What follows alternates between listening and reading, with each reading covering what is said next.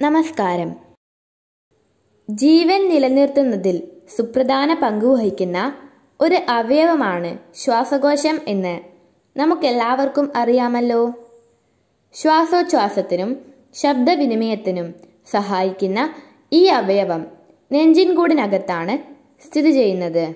അതുകൊണ്ട് തന്നെ ഇന്നത്തെ വീഡിയോയിൽ ഉൾപ്പെടുത്തിയിരിക്കുന്നത് ശ്വാസകോശത്തിന്റെ മാതൃക എങ്ങനെ നിർമ്മിക്കാം എന്നതാണ്. വീഡിയോയിലേക്ക് കടക്കുന്നതിന് മുമ്പ് നിങ്ങൾ എന്റെ ചാനൽ ആദ്യമായി കാണുകയാണെങ്കിൽ സബ്സ്ക്രൈബ് ചെയ്യണേ. ഒപ്പം ലൈക്കും ഷെയറും കമന്റും ചെയ്യുമല്ലോ. എന്നാൽ വീഡിയോയിലേക്ക് കടക്കാം. ആദ്യമായി ഇതിനു വേണ്ട സാമഗ്രികൾ നോക്കാം. മൂന്ന് ബലൂൺ സ്ട്രോ അടിഭാഗം മുറിച്ച ഒരു ബോട്ടിൽ ഒരു മേസൺ പൈപ്പ് സെലോ ടാപ്പ് ഒരു കത്രികയും. ആദ്യമായി മേസൺ പൈപ്പിൽ സ്ട്രോ ഇങ്ങനെ ഘടിപ്പിക്കുക. അതിനുശേഷം രണ്ട് ബലൂണിന്റെ മുകൾ ഭാഗം മുറിച്ച് സ്ട്രോയുടെ അറ്റത്ത് സെലോ ടാപ്പ് ഉപയോഗിച്ച് ഒട്ടിക്കുക. ഇപ്പോൾ ഒട്ടിച്ചു കഴിഞ്ഞു. ഇനി മൂടിയിൽ ദ്വാരം ഉണ്ടാക്കി മേസൺ പൈപ്പ് അതിനുള്ളിൽ കയറ്റുക. ഇപ്പോൾ കയറ്റി കഴിഞ്ഞു.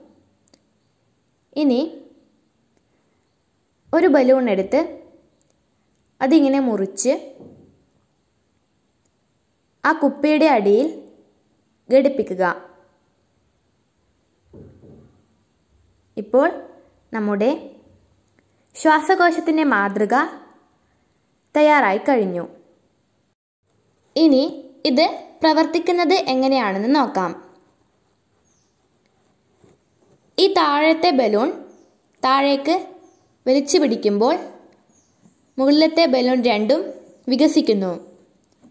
കൈവിടുമ്പോൾ സങ്കോചിക്കുന്നു.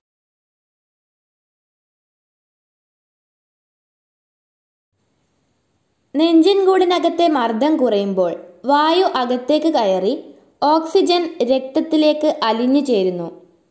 രക്തത്തിൽ അധികമുള്ള കാർബൺ ഡൈ ഓക്സൈഡ് ശ്വാസകോശത്തിലേക്ക് വ്യാപിക്കുന്നു. നെഞ്ചിൻ കൂടിനകത്തെ മർദ്ദം കൂടുമ്പോൾ കാർബൺ ഡൈ ഓക്സൈഡ് അധികമുള്ള വായുവിന്റെ കൂടെ പുറത്തേക്ക് പോകുന്നു. ഇതാണ് ശ്വാസകോശത്തിന്റെ പ്രവർത്തന തത്വം. അപ്പോൾ ഇത്രയുമാണ് ഇന്നത്തെ വീഡിയോ. ആദ്യമായി കാണുകയാണെങ്കിൽ സബ്സ്ക്രൈബ് ചെയ്യണേ. ഒപ്പം ലൈക്കും ഷെയറും കമന്റും ചെയ്യുമല്ലോ. എന്നാൽ പുതിയൊരു വീഡിയോമായി വീണ്ടും കാണാം. നന്ദി.